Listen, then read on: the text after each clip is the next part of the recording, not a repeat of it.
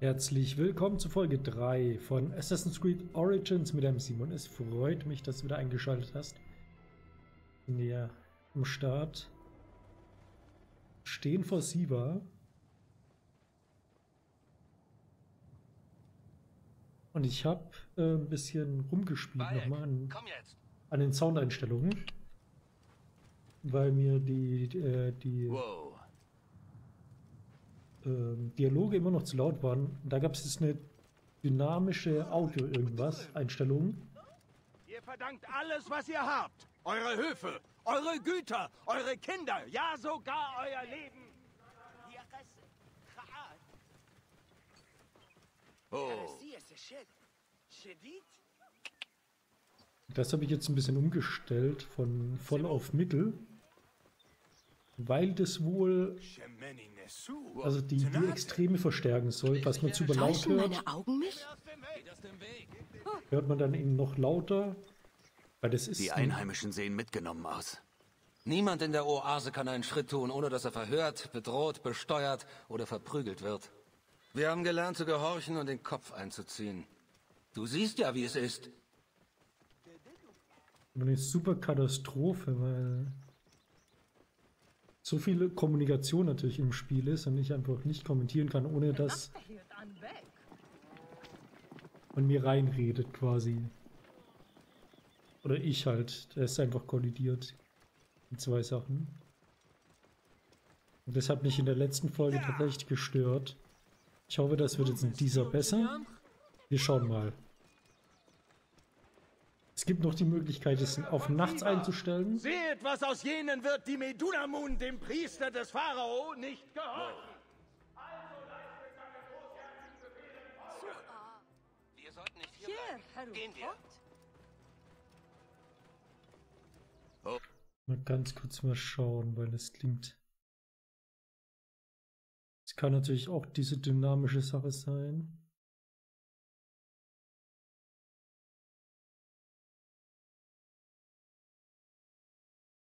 Scheint so, weil meine, meine Einstellungen passen. Erregen wir keine Aufmerksamkeit. Wirst du dein Haus besuchen? Da gibt es nichts für mich. Ah, mein Heim. Lass das Tier hier, es läuft schon nicht weg. Geh einfach hinein. Kannst du bitte aufhören? Wow. Achso, ich muss.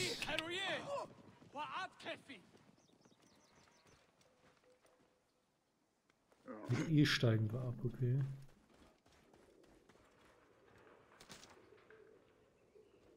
Mal komplett alle Pfeile einsammeln. Ja, ich bin mal gespannt, wie sich das nachher auf anhört. Weil da jetzt auch viel Gerede war als auf dem Weg. Ich hoffe, ähm, wir finden da eine gute Lösung für den Dialogen. Weil ich kann es einfach nicht noch leiser stellen.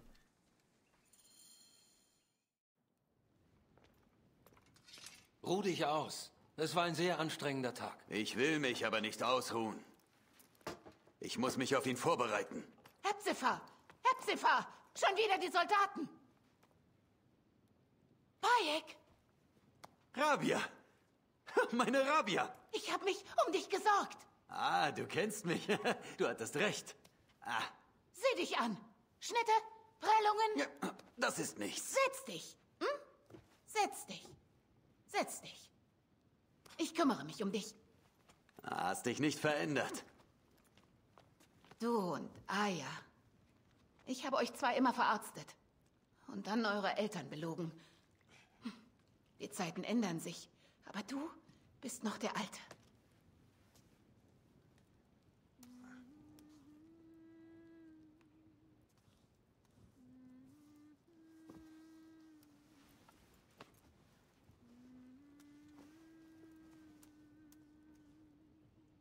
Dann lassen wir uns mal verarzten. Aber was ist jetzt mit den Soldaten, die anrücken? Schlafender Osiris. ich dachte, du warst nie wieder auf. Ah, Rabia hat mich verarztet und ich war... Ich ließ dich schlafen. Du musst hellwach sein, um es mit Medunamun aufzunehmen. Deshalb, mein Freund. Ein neuer Bogen? Er wird dir gefallen. Am besten du triffst sie direkt in den Kopf.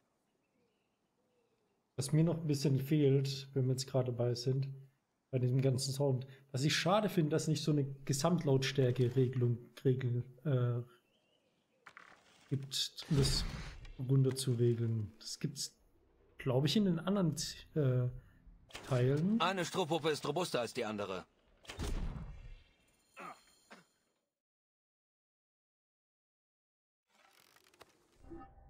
Also was ich meine hier. Normal gibt es ja da immer so eine Gesamtlautstärke und dann die einzelnen Musikeffekt, Dialog und teilweise noch Atmosphäre oder so irgendwas. Das fehlt hier ein bisschen, Gut. irgendwie, dass man es nicht gesamt steuern kann. Was ist denn? Die Soldaten wollen dich holen! Los! Komm, schnell!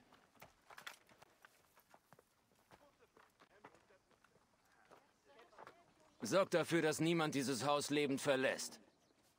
Hepzefahr! Wir wollen nur mit dir reden. Nomak Rotjek wurde ermordet. Womöglich war dein Freund der Major beteiligt. Komm raus, wenn du seinen Namen reinwaschen willst. Hinterhalt vorbereiten. Scheiße. Wenn sie die Briefe bei mir finden, dann werde ich hingerichtet. Sei unbesorgt. Ich töte sie alle. Viel Glück. Was war das? Wer ist da? Bleib unten. Er kommt uns zu nah. Ist theoretisch okay. Und F schlage ich nieder, okay. Jetzt erledigen wir den Rest.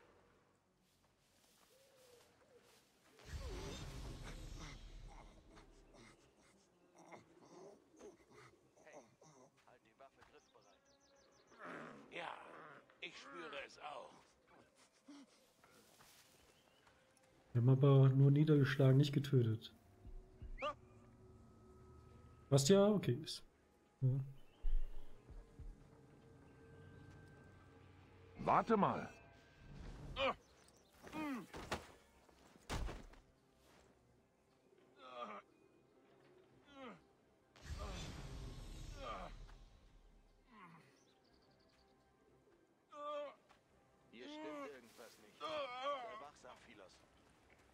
Pass auf, ganz ruhig.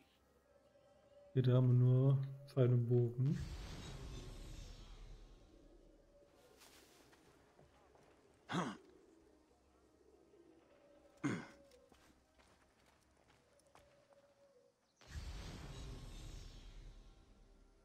Und da haben wir noch eine Wache stehen.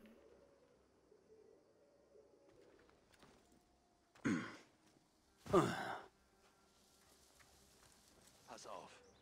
Hier stimmt was nicht. Damit wird er nicht... die wir jetzt hier weglocken können. Na komm. Hey!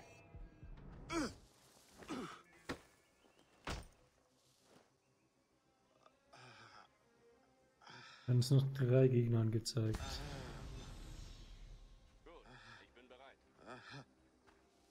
Ich glaube, ich werde mir zuerst den Gegner auf dem Dach holen. Ich glaube, da draußen ist irgendwas. Pass auf.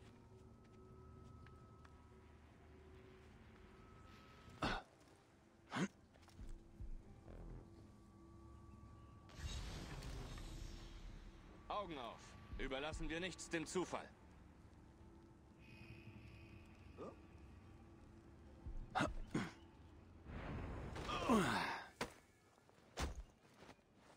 Mal was zum Plündern, sehr schön. Ich glaube, wir werden beobachtet. Das glaubst du gar nicht so falsch. Würde interessieren, woher er das glaubt. Oder warum, besser gesagt. Weil ich finde jetzt nicht, dass wir uns verraten haben.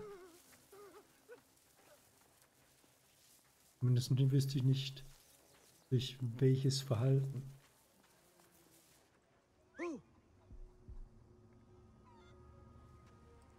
Na komm. Hey, Moment!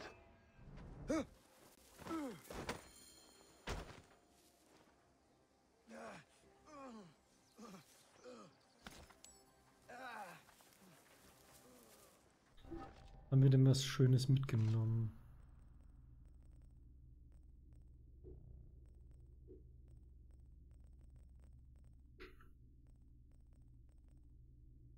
Ich bin. Ich mag das Schwert lieber. Ich mag Waffen, mit denen ich schnell zugange bin. Ähm deswegen wechseln wir mal wieder von der schweren Keule. Das war's wohl. Danke, Bayek. Ich sagte doch, diesen Scheißkerlen ist es egal. Was für eine Unverfrorenheit. Es ist traurig. Komm mit nach oben. Dann zeige ich dir alle Magi-Pflichten in Siva. Machen wir. Sivas Probleme sind hier. Ich versuche allen zu helfen, aber es ist einfach zu viel. Sagst du mir, dass du nicht über göttliche Kräfte verfügst? Nun, das Problem ist der Mann, den du töten willst. Medunamun. Die Menschen hatten Hoffnung, als er kam. Sie hatten Hoffnung auf Verbesserung.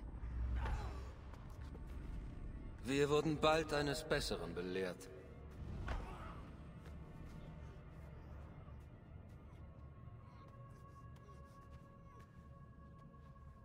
Fürchte um die Sicherheit deiner Familie, Priester. Ich lasse sie an einen sicheren Ort bringen. Das ist der Mann, mit dem du es zu tun hast. Ich finde ihn und töte ihn. Medunamun ist weit mächtiger, als er aussieht. Und er umgibt sich mit den besten Soldaten. Mir doch egal. Dann stirbst du. Du musst stärker werden, wenn du diesen Scheißkerl umbringen willst. Vor allem brauchst du eine bessere Rüstung. Ach, die mache ich mir selbst. Waffen sind noch schwieriger. Die Soldaten haben alle im Dorf konfisziert. Ich rede mit dem Waffenschmied. Ja, Benipe kann bestimmt etwas für dich anfertigen. Oder Sennu hilft dir zu finden, was du brauchst. Sennu? Sennu lebt noch? Sieh mal einer an. Sennu, altes Mädchen. Und gut in Form. Rabia hat sie gesund gepflegt. Ich muss ihr danken. Die Menschen sehen sich nach Hilfe, Bayek.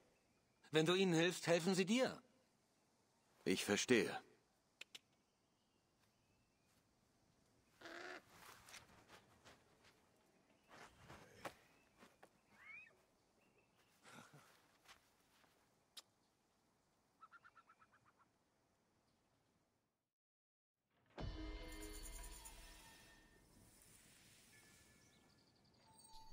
Sehr schön.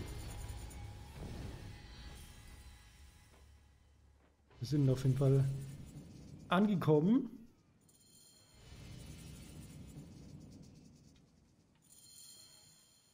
Und haben mehrere Quests bekommen. Wir leveln noch. Ähm, wir können, was haben wir denn? Waffenträger.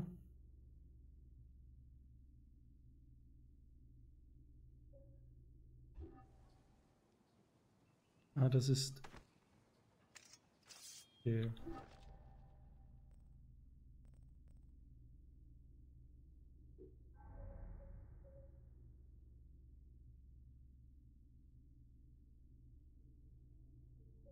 Mehr Erfahrungspunkte ist generell nie verkehrt.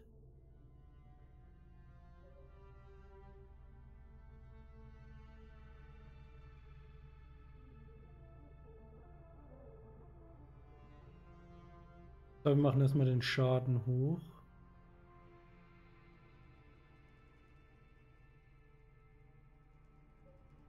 Der Höchstleistungsattacke. Beziehungsweise Fähigkeit.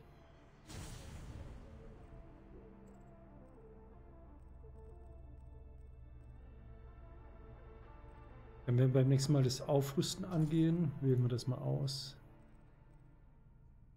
Und der Ibis ist unser nächstes Ziel. Meduna Moon. Die meisten Männer, nach denen Bayek sucht, sind bisher namenlos. Aber er entdeckt den Namen, entdeckte den Namen Meduna Moon. Meduna Moon wurde von den äh, Ptolemäern als Orakel von Siva installiert und steht im Tempel des Amun vor. Sein wahres Interesse scheint aber dem Gewölbe unter dem Tempel, Tempel zu gelten. Er tut den Dorfbewohnern Gewalt an, um mehr über das Gewölbe zu erfahren. Das können wir natürlich nicht so stehen lassen, sich so entwickeln lassen. Wir haben hier auch jede Menge Sachen zu erkunden.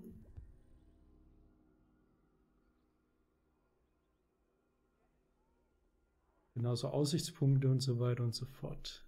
Wir haben viel zu tun. Es wird sehr schön. Ich freue mich. Dann auch hier die Karte, ne? Uns erwartet schon noch eine schöne große Welt. So will ich gar nicht vorwegnehmen. Kann mich auch. es ist größer, als ich es in Erinnerung habe. Sehr schön. Ich freue mich, das alles zu entdecken. Mit euch zusammen. Auf die Jagd, ich brauche Leder. Ich glaube, dass äh, die Dialoge jetzt schon besser eingepegelt sind. Genau. Vielen Dank fürs mit dabei sein. Bis zum nächsten Mal. Lasst euch gut genau da rein. Ciao, ciao.